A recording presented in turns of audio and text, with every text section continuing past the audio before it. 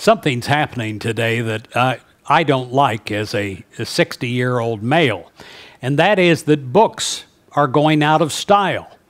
Eh, Barnes and Noble and Borders and different bookstores are going out of business because people are either getting it online or they're developing a short attention span of the Twitter universe of 140 characters and wanting all their wisdom, their truth, condensed. And uh, that is something that is a change that is disturbing. It's also disturbing to hear people say, I don't have time to read the Bible. It seems so intimidating to me.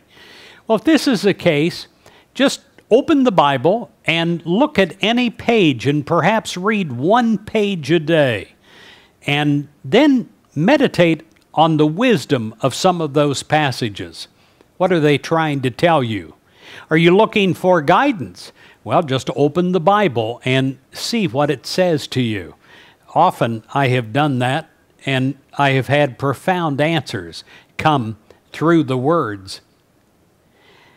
God has given us a priceless guidebook for life, and it is called the Bible. It contains comprehensive instructions which, if followed, will lead to fulfillment and comfort in this life. At times, we are tempted to disregard God's Word. After all, we're only human. But the better way, the better and easier way to live, is to study God's Word and to seriously follow the instructions given carefully. Talking about God is easy, but living by God's guidelines is considerably more difficult. But sometimes it is exactly what needs to be done in the moment to really change a life around. And it is definitely, I can speak from experience in this, a more rewarding life.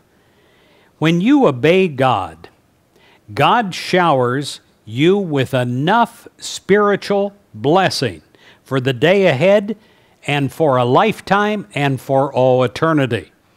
So, the best way to proclaim your love for God is by obeying God and for further instructions, read the manual. And you'll be surprised on the wisdom it gives to you. In 1 John 2, verse 17, it says, The world and its desires pass away, but the human who does the will of God lives forever. And living forever is more than life after death, it's being alive next week and next year and into your 60s, 70s, 80s, 90s to be totally alive and enjoying that day and that life.